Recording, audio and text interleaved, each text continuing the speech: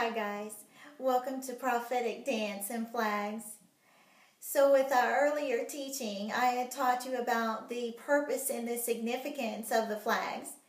Today, we're going to talk about the symbolism of the colors of the Bible. We're going to talk about the colors and how they're significant. And this is going to make it so you'll be able to pick out your flags for your worship and your praise dances and also give you a deeper revelation and understanding of what colors to use and also to explain to you what you are proclaiming in the heavenlies. So, the first color we're going to talk about today is amber. And with this color, it means the glory of God, the honor, and also the his flaming throne. And with this, we think about uh, in Scripture, it talks about when there was a great cloud with fire, and the center of it was gleaming like amber. See Scripture, Ezekiel 1, verses 27, and also Ezekiel 1, verse 4. The next color is gold, and this color represents victory so it represents our victories that we have in God. It represents wealth, which means that it means his provision. It means that he is our provider and also his kingship, which means he is our king of kings. And also when we think about scripture, there's one scripture that states his mercy seat was made of pure gold. See Exodus 37 verse 6 and Revelations 1 12 through 13. The next color we're going to talk about is silver, which is the Word of God, His wisdom, and His strength. So, again, when we think about this color, we think about when it in Scripture it talks about His Word being sharper than any two edged sword. And also, the words of the Lord are pure words like silver refined. See Psalms 12, verse 6, in 1 Chronicles 28, verse 14 through 16. The next color is aqua, and this color means river of God, refreshing rain of the Holy Spirit. And when we think about this color, we think of the mighty rivers of God and when we raise this color and when we have it as a flag, we're asking God to flow through us and also to send his mighty rivers through the congregation and to pour his rain upon us, which is his blessings. The next color is white, which means purity, holiness, faith, angels, and peace. So when we think about this color, we think about when God said, I am holy, therefore you be holy. And we think about when scripture talks about, and they will be white as snow. And also when Mary Magdalene, when she went into the tomb, that she saw the two angels dressed in white. So see Isaiah 1, verse 18 and also John 20, verses 12. The next color after that is pearlescent white. And pearlescent white, this actually means the cloud of the moving presence of God, and also the wind of the Holy Spirit and the dove. So when we think about this color, we think about the, the cloud and also in Exodus when the children of Israel, when they had to follow the presence of God, it was it was like a cloud and a, a moving presence.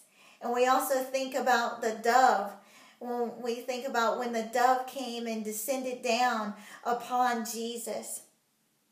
And also the 12 gates, which were the 12 the 12 pearls and this is John 1 32 through 33 in Revelations 21, 21 verses 21.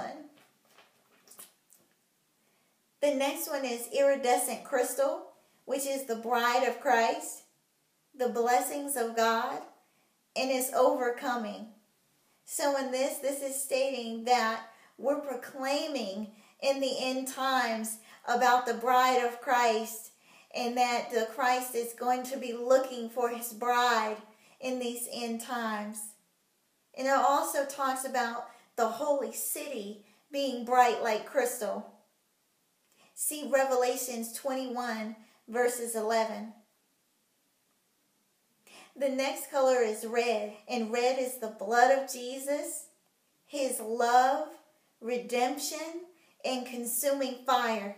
So when we think about red, we think about the power and the, the power of the blood of Jesus and also the atonement that he made for us with his blood and the redemptive blood and also about the all consuming fire that consumes all darkness and that this blood that, that it comes in power.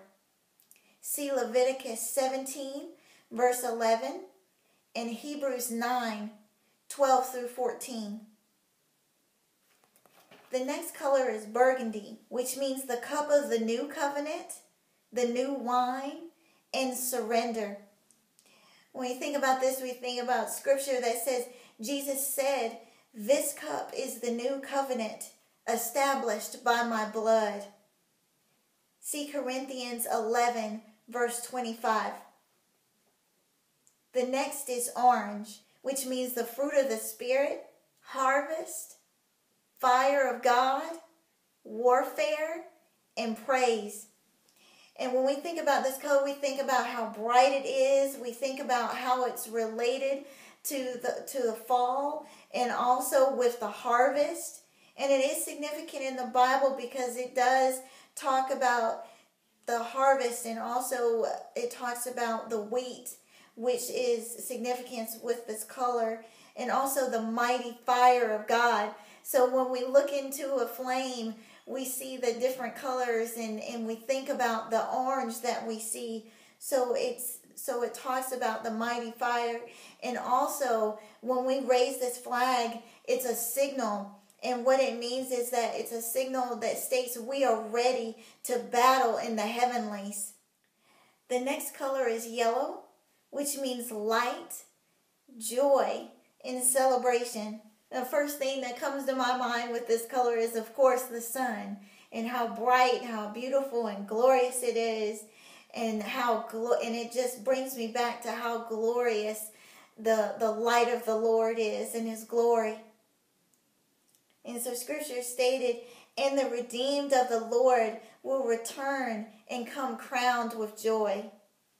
See Isaiah fifty one eleven for this. The next color is green, which means cleansing and healing, life, prosperity, and restoration.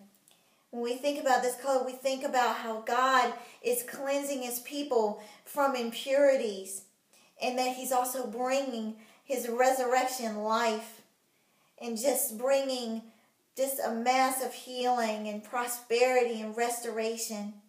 And in scripture, it talks about flourishing like a flourishing olive tree. And also, they will bear fruit, healthy and green. See Psalms 52, verse 8, and Psalms 92, verse 14 for this. The next color is blue, and this is our navy blue color, which means heaven, Holy Spirit, blessings, and provision. And so the first thing that comes to mind with this color is, of course, the sky. We always know how the sky is just a beautiful blue color, and and it also represents um, the the with the Holy Spirit. So when we're waving this flag, we're actually ushering in the Holy Spirit to come into the sanctuary, and also inviting the blessings of God. And also, this in scripture it states the shape of the throne was with the appearance of sapphire. So in Ezekiel, this is what he was experiencing in his vision. The next color after that is light blue. And with this color, it means healing and water. And when I think about this color, it I think about when the leper was by the pool and when he was waiting on someone to put him in the pool and he was healed and the, and the Lord healed him and the Lord said, "Arise and walk." See John 5 verses 7. The next color is purple, which means royalty, king, majesty, authority, and power. And with this color, it is powerful and it's significant in the Bible. And it talks about when the linen ephod was worn, that it had purple and gold and blue, but that purple was one of the powerful colors. And when we think about this color, we think about the kingship and the majesty of our Lord. And also, it represents the authority so it shows that when we raise this flag, we're proclaiming that we have authority in the heavenlies. See Exodus 28, verses 8. The next color is pink, which represents the bridegroom's heart and his faithfulness. And uh, with this, we always think about pink being a girly color, but with this, it's actually representing his heart towards us and his faithfulness and his faithful love. See Psalms 18, verse 25, and Psalms 26, verse 3. The next one I'm going to talk about is very important uh, and it's very significant because it actually has all of the colors of the rainbow the red, orange, yellow, green, blue, and purple. They're all together.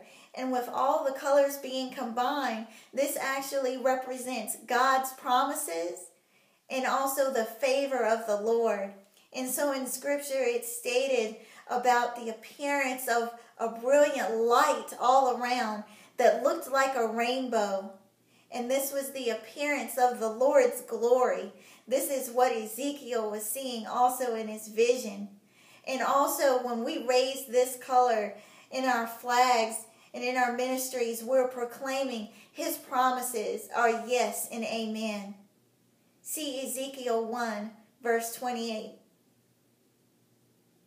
The next color is brown, which means man and earth. And again, this color is not used a lot, but it can be used in your prophetic ministries and also your dance and also skits.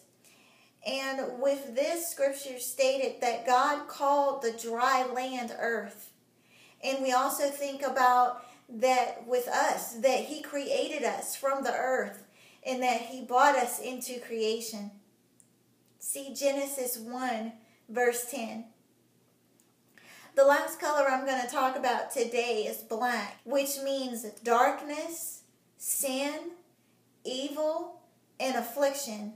And again, this color is not used a lot, but it is a very powerful color because it does, it talks about black representing the sin, the, the sin of, of the earth, and also the, the evil that's in the earth and the afflictions that we suffer. But it also talks about God's shadow, and it talks about his cloud being like a cloud of darkness. See Lamentations 4, verse 8, Jeremiah 8, verse 21, Psalms 18, verse 11, and Revelation 6, verse 5. So, again, guys, these were just some of the basics, and I wanted to give you the basics of what the colors meant. And this is also to help you with your dances in your prophetic ministries. So, again, I hope that this has really blessed you. And I hope that it helps you and gives you a deeper revelation of the flags that you're choosing and also with your ministries. So, again, guys, just keep worshiping and also praising God. And God bless you. Till next time. Bye bye.